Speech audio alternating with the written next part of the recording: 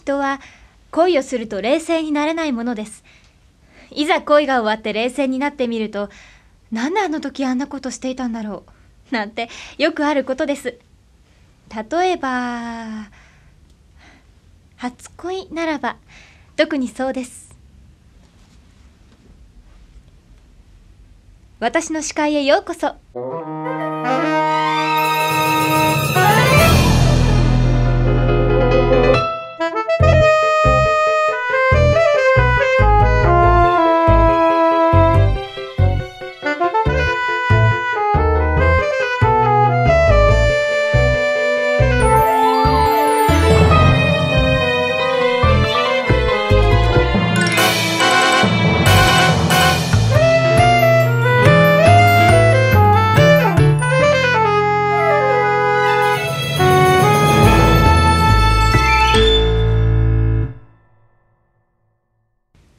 パタパタ。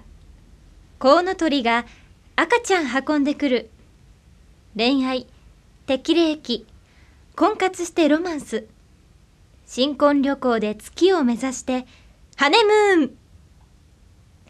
初恋の思い出はピカピカ小学1年生。幼なじみの縦笛を放課後に舐めました。子供の名前妄想してリストを作ったノートは黒歴史。卒業卒業。できたらできたら告白告白しよう。死亡フラグにジャストミート。山落ち意味がないならブルマを脱げばいいのよ。パンツがあれば安心。1 2 9ツンツンしているけれどデレデレする日もある。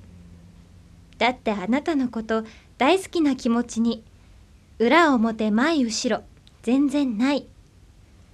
次々恋に落ちる。憧れ胸を焦がす。ゴール真冬でもドッキドキの心はポカポカしているよ。しっぽりしていってね。いかがでしたか？お相手はパトリー岩杉でした。また明日。